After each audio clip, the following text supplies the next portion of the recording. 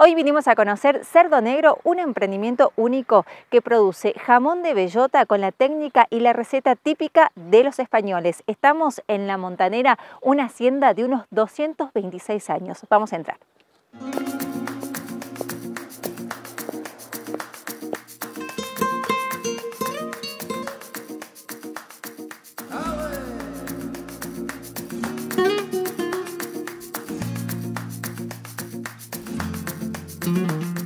Nos encontramos junto a Kiko Fernández, vamos a conocer un poco de la historia. Aquí producen y elaboran productos únicos, exclusivos de Bellota. Es un placer y un orgullo poder estar con usted. Queremos conocer un poco de la historia de Cerdo Negro, cómo arrancó todo esto.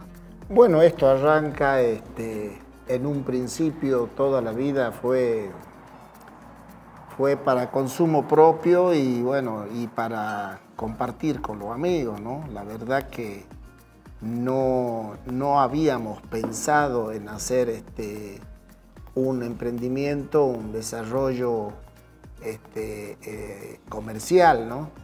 Pero bueno, nos fuimos entusiasmando con la cantidad de, jamones cada vez más, que esto, que el otro, y bueno, llegó un momento que, que mis mismos amigos decían, che, va, tenés que empezar a vender porque no vamos a poder consumir todo lo que estás haciendo. Y bueno, de ahí es que la gente empezó a venir y a presionar sobre que querían probar, querían comprar. Así que bueno, empezamos a vender los productos y, y en este momento, gracias a Dios, este, tiene mucha, mucha demanda, ¿no?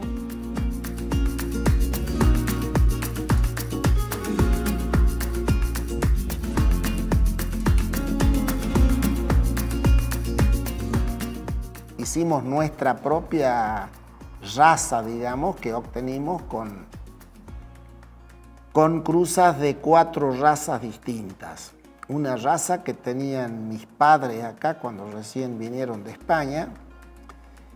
Eh, esos, a, esos, a esa raza, a esos cerdos, le metimos, este, cruzamos con jabalí, jabalí de acá de La Pampa, sí. Eh, Duroc Jersey, y otra raza cordobesa que hicieron los hermanos, la familia Mondino, que se llama Chetapuy, una raza negra que es resistente al sol, al igual que el duro jersey, y después la rusticidad que da el, jabalí. Con esas cuatro, con esas cuatro razas fuimos este, sacándole eh, porcentajes, digamos, genéticos más del jabalí, poniéndole más del duro jersey, porque con el duro jersey conseguimos este, eh, grasa, la infiltración en la grasa, con el jabalí conseguimos la, rusticidad para que se críe en el campo de chiquito, aguantando el sol, el frío, porque el cerdo blanco no, no está apto para recibir calor, el sol y, criarse suelto a campo, ¿no? Sí. Entonces, del jabalí este, conseguimos la rusticidad, del duro jersey, la buena infiltración de grasa que tiene. Y bueno, fuimos sacándole un poquito más, un poquito a uno, agregándole de otra raza más, hasta que conseguimos la infiltración, el veteado de la grasa en el jamón, que realmente creemos que era el, ideal, el justo, y bueno, ahí nos quedamos con ese con ese tipo de, cruza y de genética, ¿no? que es el que estamos usando ahora.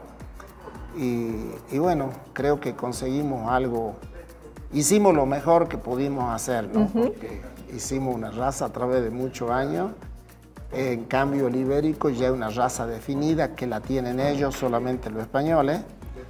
Este, pero bueno, están, estamos sacando un producto muy parecido según los clientes. Bueno, remontando un poquitito la historia de Kiko Fernández. Eh, ¿Cómo llegó a la Argentina? Su familia es descendente española y, ¿por qué decidió abocarse a esto, a la cría de cerdos? Bueno, eh, ellos cuando vinieron de, de España vinieron con la idea de venir a trabajar en el campo, ¿no? a producir este, agricultura, ¿no? el tabaco, por ejemplo. pero ellos no perdieron la costumbre, la cultura de, seguir haciendo jamón para consumo propio, porque era una familia grande.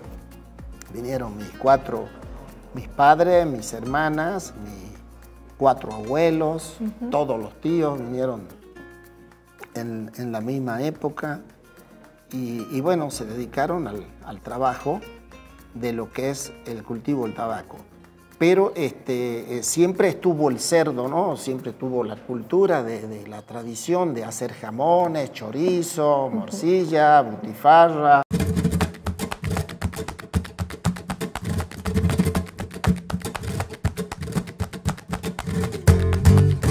Los cerdos nosotros los criamos en un periodo eh, de dos años. Sí.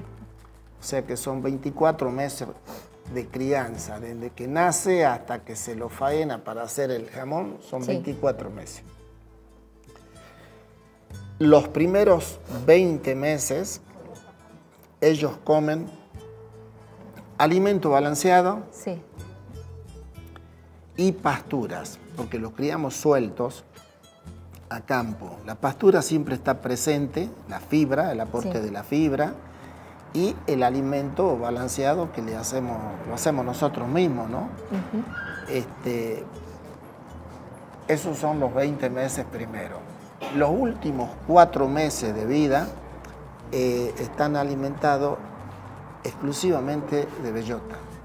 O sea que los últimos cuatro meses, cuando comienza a caer la bellota, este, ya se les suprime el alimento balanceado y están alimentados exclusivamente de la pastura que siempre estuvo este, disponible, suelto, caminando, y empieza a caer la bellota hasta que se termina la bellota, son aproximadamente cuatro meses, donde ya no comen absolutamente nada de alimento balanceado, solamente bellota y pastura. Bien. Y siempre caminando, ¿no? Porque tienen el agua en un extremo y en la otra punta tenían el alimento balanceado. Así se criaron los primeros 20 meses.